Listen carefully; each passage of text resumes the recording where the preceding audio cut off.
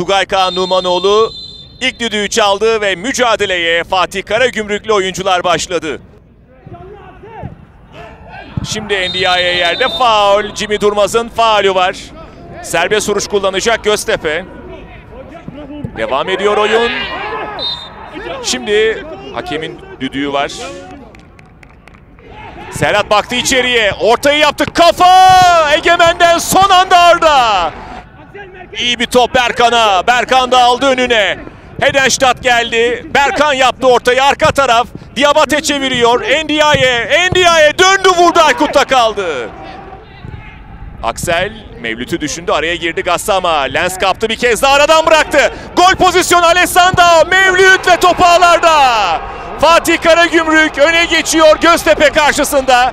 32. dakikada golün adı Mevlüt Erdinç. Mevlüt ligdeki 3. golünü attı bu sezon.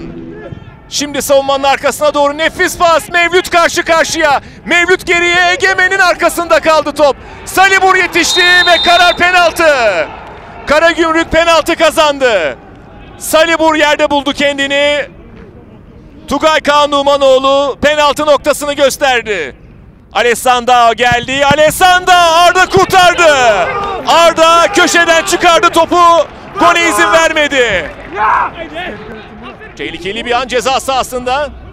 Atak devam edecek. Jul vurdu dışarı gitti. Salibur Obinna kovalıyor. Dokundu Obinna. Alessandro'ya pas oldu. Onun derinlemesine topu. Ceza sahası Mevlüt vurdu Arda çeldi kornere. Ndiaye kovalıyor. Edenstadt'la mücadele halinde. Ndiaye girdi içeri. Pasını verdi. Top yandan dışarı gitti. Aykut. İstediği kadar uzaklaştıramadı topu Yaovic. Ndiaye ceza sahası Ndiaye yerde. Karar penaltı. Tugay Kaan Numanoğlu maçta ikinci kez penaltı noktasını gösterdi. Göztepe penaltı kullanacak. Geldi topa. Ndiaye, kaleci Aykut. Bu kalede bir şey var. Halil yaptı ortayı. Tehlikeli bir top. Aykut elinden kaçırıyor ve top ağlarda gol.